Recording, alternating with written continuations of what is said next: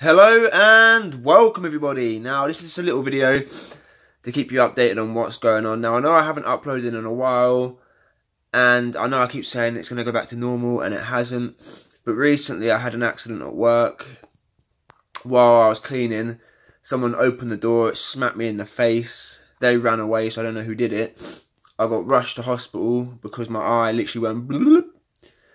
I was there for like six hours. I had to have a CAT scan Luckily, there was no bleed on the brain and no fractures. I've still got like a little black eye. I don't know if you can see it. And it's still a little bit swollen around here. But the doctor diagnosed me with concussion. So I've been taking it easy for the... Oh, you can see it now. I've been taking it easy.